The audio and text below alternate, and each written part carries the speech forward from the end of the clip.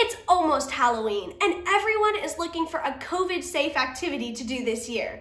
Luckily for us, one of the most popular and fun trends going on right now is also mask and social distancing friendly. Yep, that's right, it's the ghost trend, and the gardens at El Paseo offer a great location for some really cute shots. Today, I went and scouted out around there for some great pictures, and take a look at what I found. First, you're gonna need a friend, some sheets, and a spooky attitude. There are some great photo ops with their landscapes, as well as with the escalators and the stores. My personal favorite, though, had to be with the fountains because they look super pretty on camera.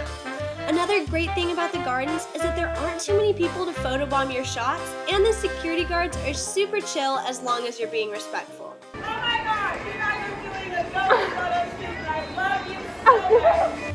The gardens on El Paseo are a great place to get a variety of pictures while not having to move locations. Boo heard it here. Back to you in the studio.